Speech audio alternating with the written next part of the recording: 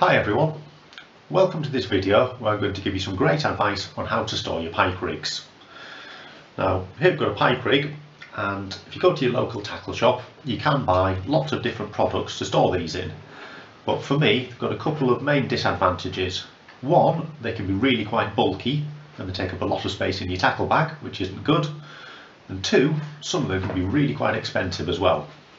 Now what I do and what I'm going to share with you today is give you a very cheap, a very quick and a very efficient way to store your pike rigs. And what you use is a piece of this. It's a piece of pipe lagging or pipe insulation. You can pick it up from your local DIY shop for a couple of pounds or you might even have some lying around at home. And this is great for storing your pike rigs. All you do is you take your rig,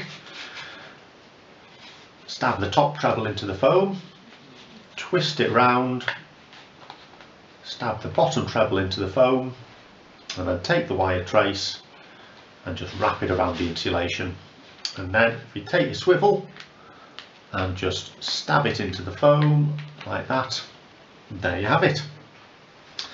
Take a second trace and do exactly the same. Stab the bottom treble into the foam twist it round stab the top treble in wrap the wire around take hold of your swivel and just push it into the foam. And there you have it, two securely stored pike rigs. Now you can store these in loads of different ways. For example here, I've got one of these plastic food storage tubs from the local supermarket and these are perfect for the job. Now the trick is to take your pipe foam and cut it so it's slightly longer than the tub you're storing it in. And what that means is it pushes in there nice and tight. It's not going to fall out. You can put the lid on and it's nice and snug in there. It's not going to rattle and it's not going to shake around and it's not going to blunt your hooks. And there's other ways you can do it. For example here is a much smaller rig rig store.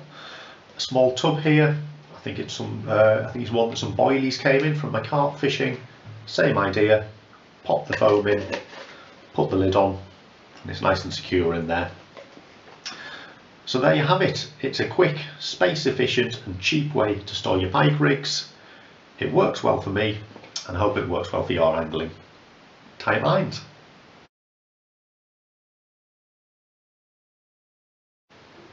If you would like to see some more pike fishing videos, there's two here for you. This bottom video was a day out dead baiting and this top one, well, that was one of those days where something a little bit unusual happened on the bank, but I managed to get it on film. So I hope you enjoy and thanks for watching.